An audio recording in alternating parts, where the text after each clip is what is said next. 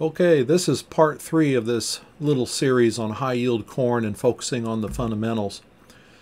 In the previous recordings, we talked about high yields in general. We looked back at history uh, to see what's happened in the U.S. since 1866, and then I talked a little bit about the winners of the National Corn Yield Contest and what we could learn from them. And as it turns out, we can't learn much from them because we just don't see what we need to see in the printed winner's guides. And then in the last segment, I talked about the yield components that we do need to focus on plants per acre, ears per plant, kernels per ear, weight per kernel. And I talked about some of the stresses that could impact those yield components. And of course, that gives us some idea on what we can do to improve yields in the future. So we've sort of basically have come full circle uh, back to this question about higher yields and what can we do about it. And now we're at the point where I'm ready to share with you the secret of achieving higher yields in the future. I've thought about this for a long time and, and it took forever for me to come up with this answer. And then once I did, I realized it was so simple. And so here it is. The secret to achieving higher yields in the future is to figure out why you're not achieving high yields today. Sounds silly, right? And, and it is very simple, but what it's really talking about is identifying those yield limiting factors that are specific to your farming operation and diagnosing the causes and then taking steps to mitigate them. Okay, this is what it comes down to for your farming operation. There are no set ways to do this, and if you fail to identify and diagnose your specific yield limiting factors, then some of the decisions you'll make are going to simply miss the mark. And you're going to either waste dollars on inputs that you simply don't need because you failed to identify the causes of the problems, or you're going to leave yield on the table by not using some inputs that you should have used if you had only done a better job of identifying the specific yield limiting factors. And understand this one simple fact of life. There are, are no silver bullets to what we do in growing a corn crop. There's no single solution. There's no one size fits all. It's all about searching for these yield limiting factors on your specific fields. And this is a season long mission that requires a lot of time and effort on your part. And you just have to accept that fact that it takes a lot of hard work to identify what's holding back yields on your specific fields. All right, we talked about these yield components in the previous segment and how they're determined throughout the entire growing season and why we need to minimize stress during the entire growing season in order to optimize these different yield components. So I want to talk about some of the tools in the toolbox that we have that are useful for helping us identify and diagnose these yield limiting factors. And one of them uh, is as simple as the yield maps that you've been accumulating for years. And understand that these yield maps can be really useful roadmaps to simply tell us where the problem areas are in the field. And once we know where they are in the field, then that gives us some focus and it helps us be more efficient on this search for yield limiting factors. So when I look at a yield map like this, uh, I am really curious about these low yielding red areas. What can I learn about those areas? All right, I may be uh, also at the same time impressed by perhaps the 250 bushel yields I get in part of the field, or maybe even higher than that. But what I really want to find out is what's going on in these red areas. And so using a yield map as a road map helps me be more efficient in the process, especially if I have yield maps for multiple years and I'm trying to identify those problem areas that seem to appear every single time I have corn in that field. Now, relate, somewhat similar to yield maps, is the access to aerial imagery that we have today uh, that we simply didn't have as easy of access to 20, 30 years ago. But aerial imagery during the season can also be used as roadmaps to simply tell us where the problem areas are in the field. And most of the time, aerial imagery taken during the season does mirror what we see at the end of the season in the yield map. And so, again, it, it sort of tells us where these same problem areas are. And you might say, well, okay, I've already got yield maps. Why do I need aerial imagery? Well, the deal is is that aerial imagery taken during the season tells you earlier when these problems are developing. And they because they tell us earlier in the season where the problems are, it gives us an opportunity to visit the fields earlier in the season and do the crop diagnostics to determine the cause of the problem. And it's much more efficient doing it that way than waiting until harvest and seeing the low yielding areas coming up on the display on the yield monitor and then asking the question what's going on because at that point in the season quite often it's simply too late to do an accurate diagnostic as to why am I getting these low yields. So here's an example from one of our fields this past summer. Uh, this is a uh, image flown in late August. And there are clearly areas in this field that are dead and dying. Um, it's not clear from the image that they're dying because of drought, but boots on the ground uh, confirm the fact and the weather records that these were areas of the field that were dying prematurely because of very severe drought stress. Now, yes, we can make that determination in August that the cause at that point in time was due to drought, but I had also done earlier flights on this field I had spotted the same stunted areas earlier in the summer, in fact, beginning in mid June. and at that point in time, uh, we'd actually had some pretty wet conditions, and those areas of the fields actually were beginning to suffer. Plants were beginning to be stunted, roots were beginning to be injured, not because of drought, but because of damage caused by saturated soils and compaction because of the year after year of saturation and, and how that increases the risk of compaction due to tillage and field operations. So again, it was able to make me a slight, I was able to do a slightly different diagnostic by flying that field early in the season and knowing there were problems developing than if I had waited till late in the season, seeing the same areas in the aerial image, and then maybe determining wrongly that it was simply due to drought. Here's another example of a field where the drone imagery was showing us areas of the field with nitrogen deficiency. And so uh, uh, the first thing that I'll highlight are these areas at the beginning of the nitrogen applicator passes that are nitrogen deficient. And of course, these are the typical kind of things that we see when fertilizer flow is not yet at full flow as you begin an applicator pass. So it's not uncommon, in other words, to see these areas that are maybe 20, 30 feet long uh, that are nitrogen deficient. Uh, and the yield monitor might pick those up. If they're big enough, you've got all 16 rows and it's 20 or 30 feet long, the yield monitor will probably pick those up.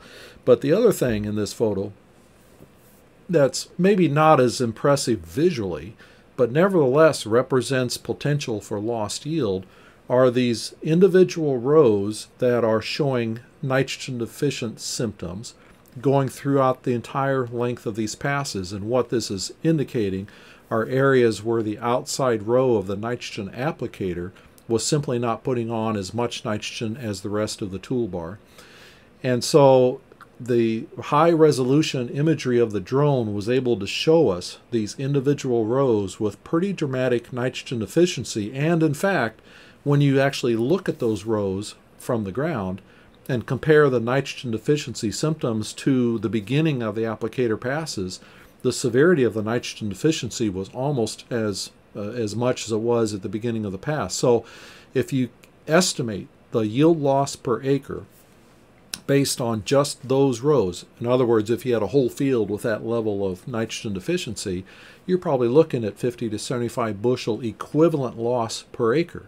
So it's nothing to sneeze at. But the problem is, is that because it's individual rows, the yield monitor and the yield map data will likely never detect that yield loss because those deficient rows will always be blended with the other rows that are being that are coming into the combine okay? So again one of the advantages of this high resolution drone imagery is we can spot problems that we might not be able to pick up with the yield monitor and yet if we can spot them identify them, determine the cause, and correct the situation, we're going to increase yields on that field. Here's another example of, of data. of tools in the toolbox, and, and this is an as applied map of side dress nitrogen or side dress uh, UAN. And so sometimes, well, a lot of the, the precision ag technology we use generates as applied data. We often get as applied planting data, as applied herbicide application data, as applied side dress nitrogen data. We don't always take the time to look at them. In fact, maybe sometimes we don't even know that it's being collected. But understand that when we're looking for the causes of yield loss or lower yields in fields, sometimes it's equipment related. And so having access to the, such as applied data helps us pinpoint issues with equipment. So in this particular field, uh, there are areas that are showing different rates of side dress 28. Uh, and actually, what I failed to tell you was uh, this was supposed to be a nitrogen trial, an on-farm nitrogen trial. So some of those rates that are showing yellow and green application differences, they were meant to be. But in this northern area of the field are areas, there we go. Let me go back. There. In the northern part of the field, there were areas of the field where clearly there were some issues going on with that nitrogen applicator. Now, for my sake as a researcher with this on-farm trial, these errors in the applicator uh, force us to abandon those reps of the treatments in that area of the field. All right, so it, it hurt our research from the farmer's perspective. You know, the farmer didn't necessarily care about what it did to our research, but the farmer's losing yield in those areas of the field because those are pretty lengthy stretches of, of uh, applicator passes uh, where the applicator was simply failing to, to continue putting out the nitrogen. So again, having access to this kind of a as applied data can help us do some of the diagnostics to determine what's causing low yield in areas of the field, especially when you look at the yield map and maybe it just doesn't make sense why it should be lower yield in that part of the field, but using this as applied data can sometimes help us address that. so among the tools in the toolbox, uh, other tools in the toolbox are uh, simple tools like soil and plant tissue analyses. And so if I go back to that yield map with the areas of, of low yielding red data in that field, I said it's going to help me focus my attention on those areas of low yields. And one of the first things I'm going to do to determine the cause of what's going on is to do some soil samples specifically in those low yielding areas. And perhaps the next year that it's in corn, going in and doing some targeted plant tissue sampling and using the results of those analyses to determine whether the problem is related to nutrient levels or perhaps soil pH, and especially if I'm comparing samples taken from the problem areas with samples from the good areas. And, and you should always do that when you're doing this kind of targeted sampling is make sure that you're also sampling from the good areas so that you have something to compare to. Now, in the tri state region of Indiana, Ohio, and Michigan, we have our particular set of recommendations for these kinds of things. We call it the tri state fertilizer recommendations. If you're outside of these three states, I'm sure you've got access to other recommendations that, that give you tables to help you interpret the results of soil sample tests and plant tissue sample tests. So be sure to use these tools in the toolbox as you're trying to determine the causes of some of the lower yield. So uh, now I want to talk about some common, excuse me, yield limiting factors to consider. And I don't know who's watching this. I don't know where you're farming. I don't know what your situations are. So I, I can't tell you what your specific yield limiting factors are. Let me just share some of the common ones that I run into throughout much of Indiana and simply suggest that you consider these also as you're looking for yield limiting factors in your specific operations. One of the most common yield limiting factors in Indiana continues to be poorly drained soils. Yes, there's been a lot of tile work done over the decades. Yes, there is a certain amount of surface tile or surface drainage that's done. But nevertheless, there are still many, many acres in this state that continue to be poorly drained and this creates all sorts of problems. Um, and if we can improve soil drainage by either tiling or by putting in surface drains. We can reduce the occurrence of ponding, the severity of ponding, the duration of the ponding or saturated soils. And that's going to certainly help roots develop the way they should. It's going to reduce the risk of plants being stunted from sitting in such saturated soil conditions. But improving soil drainage also reduces the risks of other problems. It reduces the risk of losing soil nitrate nitrogen due to denitrification that occurs in these saturated soils. And so over time, by improving the soil drainage, it may allow you to back off on your nitrogen fertilizer rates because you're losing less nitrogen due to denitrification. Improving soil drainage also reduces the risk of creating soil compaction from all sorts of field operations, from tillage to, to planters to combines to grain carts, you name it. If soils are poorly drained, there are fewer days where the soils are fit to be on in terms of soil moisture, it increases the odds of creating soil compaction. And so improving soil drainage will reduce that risk.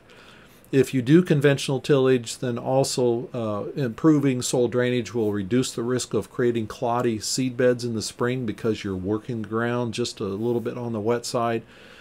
And then on top of all this, improving soil drainage simply also reduces the risk of delayed field operations or interrupted field operations. And, and certainly the more working days we can regain by improved soil drainage, and to improve the timeliness of all our field operations together, that's going to help increase yields in our fields.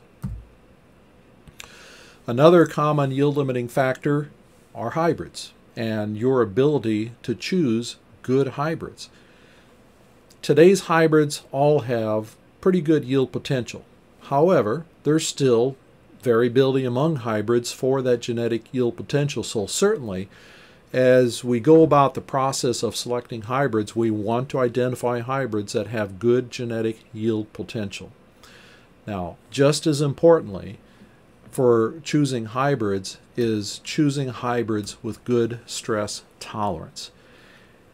Often this is a genetic characteristic in, in terms of a host of different traits that enable it to be more tolerant to stress, but because weather and climate seem to be getting more variable, and we seem to be getting more instances of severe extreme weather, we need hybrids that can tolerate a wide range of growing conditions. This picture that you're looking at shows an example of two hybrids and the differences in their ability to tolerate cold, wet, crusty, and otherwise crappy conditions after planting. One hybrid was able to tolerate all that stress much better than the others, and the aerial image taken that year clearly shows the difference between these hybrids. And as it turns out, the hybrid whose strips you see that are so thin, uh, the farmer ultimately replanted most of that hybrid.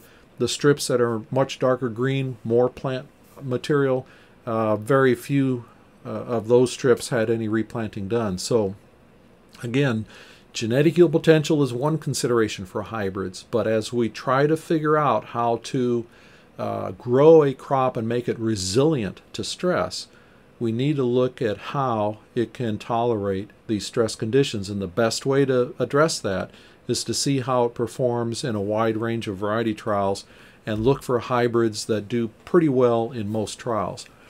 And again, I, I just can't overemphasize to not underestimate the importance of this seemingly simple decision. Genetic vari- er, differences in genetic yield potential among hybrids are easily worth 20 to 30 bushel. Even with all of today's good hybrids, there's still an opportunity for a 20 to 30 bushel swing simply due to genetic yield potential. I've already talked about, reinforce the fact of, of this need to pay attention to hybrid characteristics for stress tolerance. And the best way to do that is to look for hybrids that consistently yield well in variety trials across many locations. And that's sort of the key thing because if you look at the results of trials from many locations, hopefully that also represents a range of growing conditions. And then if you can find hybrids that yield pretty darn good most of the time in this all of these trial locations, you're probably looking at hybrids that will do pretty well for you next year in, in a year where you don't know what's going to happen in terms of weather. Another common yield limiting factor that I've already alluded to is simply soil compaction from tillage or repeated heavy equipment traffic across the field. This picture is showing two, essentially two instances of soil compaction. Uh, there are uh, the more noticeable tire tracks going through the field that represent the sprayer tracks going across the field and creating compaction from the tire traffic. A little less noticeable, if you squint your eyes, you can see other pairs of tracks going across the field, and those represent the dual tires on the tillage tractor working the ground a little bit wet in the spring. All right. You add this up over the entire field, there's a lot of acres of compacted tire tracks, and that's going to take a toll on yield. All right, so to the extent that we can alleviate soil compaction, uh, we're going to improve yields or at least be able to grow good yielding corn more consistently. And the risk of soil compaction goes hand in hand with poor soil drainage and our use of large and heavy field equipment. Compaction makes poor drainage even poorer, and it makes saturated soils stay saturated longer. So it exacerbates that whole situation when you have compaction on top of soils that are naturally poorly drained. Soils are most vulnerable to compaction when the soil moisture is near field capacity. Now understand that in practice, when a field's at field capacity and you're out there digging around and working it in your it doesn't feel that bad. And, and you're more likely than not to say, well, let's go ahead and hit the field. But ironically, that tends to be the day when it's the most easily compacted. And of course, compaction limits the ability of that crop to root deeply. And subsequently, it limits that crop's resilience to drought stress that occurs later in the summer. Anytime that we get a mid to late summer drought set in, the fields that show the effects of the drought stress first typically are the fields that have a lot of soil compaction. Right, so it simply makes the crop less resilient to midsummer drought stress. and then finally, just to list a few other common yield limiting factors, but you know, a lot of us are having to deal with the increasing resistance of weeds to a wide range of herbicides. And this problem is not going away. In fact, it's getting worse and will probably continue to get worse. And it's a huge problem. Now, I'm not a weed scientist and I won't go into great detail on how you handle weeds that are resistant to herbicides. I'd simply tell you make sure you seek out the experts on weed control and look for the recommendations they have on how, first of all, how to diagnose weed resistance to herbicides, and then secondly, how to handle such weeds in the program because uh, it's just becoming a, a, greater and greater problem that is, is unfortunately not going to go away. Foliar diseases for many of us in the more humid areas of the corn growing areas are, are a perennial problem. And so for many of us, we deal with gray leaf spot or northern corn leaf blight or tar spot increasingly in the northern parts of the corn belt. Make sure, among other things, as you're selecting hybrids, well, first of all, make sure you know what foliar diseases your fields typically have. All right. Once you know what are your worst or most likely occurring diseases, then make sure as you're selecting hybrids to look for genetic resistance to those diseases because that will go a long ways to avoiding the need for fungicide later on.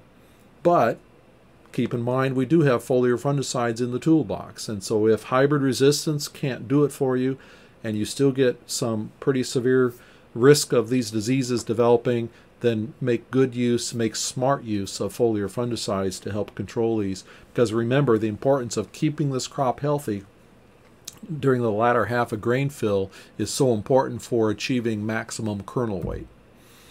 And of course, nutrient deficiencies and low soil pH, you know, these are problems that we've worried about forever, and you need to continue making a determination whether you are dealing with situations of nutrient deficiencies and low soil pH and taking the steps to correct them. And so, in summary, I'll just simply say that in order to increase corn yields, we need to focus on the fundamentals. And this involves continually improving our agronomic knowledge, making sure that we're watching videos like this, that we're going to conferences and listening to experts, not just from our area, but from around the, the different areas of the country. Secondly, we need to identify the yield limiting factors that are important for our specific fields.